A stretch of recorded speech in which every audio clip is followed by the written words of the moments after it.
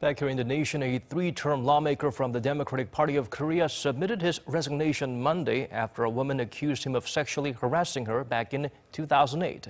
However, Min Byung-doo denied any problematic behavior, adding he would resign and reveal the truth to restore his honor. The ruling bloc already hit a case of involving prominent members, asked him to consider, as reconsider rather, as shedding light on what really happened should come first. The Democratic Party is not being lenient in all cases, though, as the Me Too movement has the potential to affect the upcoming local elections. It vowed to undergo tighter screening for anyone planning to run in June.